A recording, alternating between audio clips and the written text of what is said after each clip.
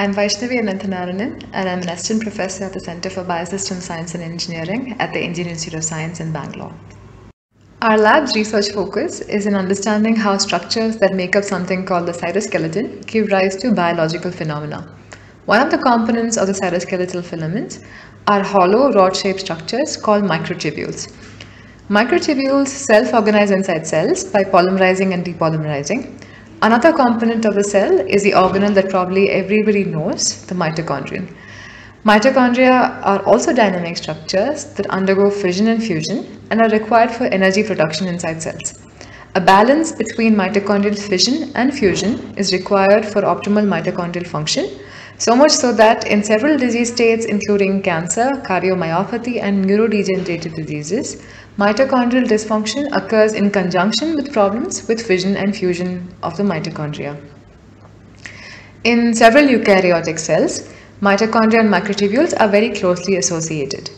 In this work, we used a simple model organism, the single-celled eukaryote fission yeast, to understand this association and to identify cellular cues that initiate mitochondrial fission and fusion. By using a combination of genetics, live cell microscopy and analysis, we observed that fission yeast cells that have long microtubules also have long mitochondria and conversely, cells with short microtubules had short mitochondria.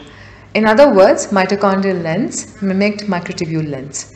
We discovered that the reason this happens is because mitochondrial fission is prevented when mitochondria are associated with microtubules and the reason this happens is again linked to the molecular scissor that is required for cutting mitochondria.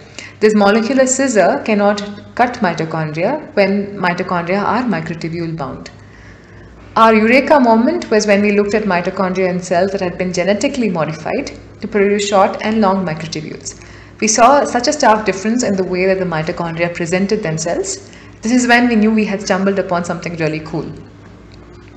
This is an interesting finding because like I mentioned a little while ago, mitochondrial form and function are compromised in several disease states. In this study, we have a handle over modifying the form and potentially the function of mitochondria via the microtubules. In future, we will try and understand this link between microtubules and mitochondria in the context of neurodegenerative diseases, including Alzheimer's and Parkinson's. So finally, the simple take-home message is that microtubule dynamics regulates mitochondrial fission and that we have a handle over mitochondrial form and function possibly by changing microtubules.